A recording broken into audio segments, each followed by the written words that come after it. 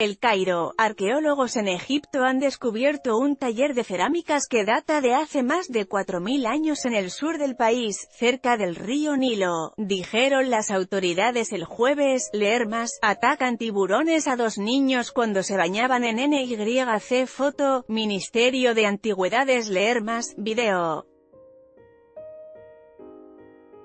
Águila Real ataca a niña al confundirla con presa en un comunicado, el Ministerio de Antigüedades dijo que se trata de la alfarería más vieja del Imperio Antiguo, perteneciente a la Cuarta Dinastía, que data del 2613 a 2494 antes de nuestra era.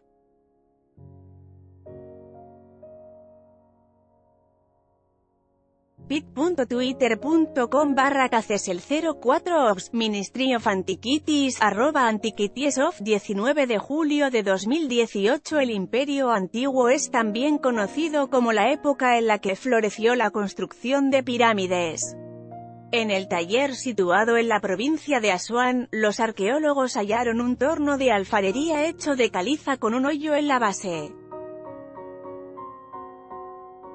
Mostafa al-Waziri, secretario general del Consejo Supremo de Antigüedades dijo que el descubrimiento es inusual, y arroja más información sobre el desarrollo de la alfarería y la vida cotidiana de los egipcios durante esa época.